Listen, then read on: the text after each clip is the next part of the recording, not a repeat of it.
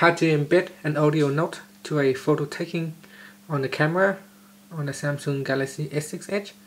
So let's say you are uh, capture a, uh, a pictures, you can also attach an audio note so that later you can remember about what the picture is about.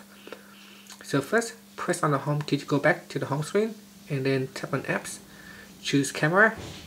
In camera, tap on mode and go down and tap on sound and shot so if shot is not available you might have to tap on the download button to download uh, these functions.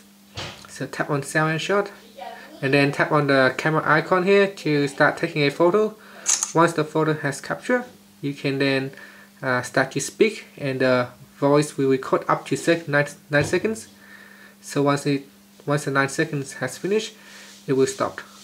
You can tap on the preview icon at the bottom here and then we can replay the audio.